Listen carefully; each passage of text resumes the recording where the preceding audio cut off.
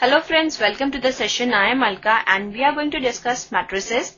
Now we have to compute the following. a square plus b square. Our first matrix is a square plus b square, b square plus c square, a square plus c square, a square plus b square. Plus second matrix is 2ab, 2bc minus 2ac minus 2ab.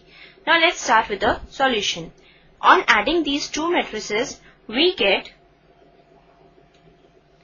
this is equal to a square plus b square plus 2ab then b square plus c square plus 2bc a square plus c square minus 2ac a square plus b square minus 2ab.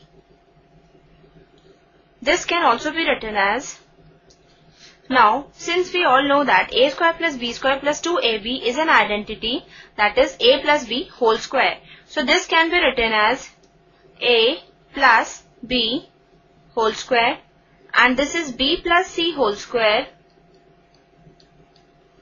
Again, we see that this is a square plus c square minus 2ac which is a minus c whole square and this is a minus b whole square. So this is the required matrix. Hence a plus b whole square, b plus c whole square, a minus c whole square, a minus b whole square is the required matrix. Hope you understood it and enjoyed the session. Goodbye and take care.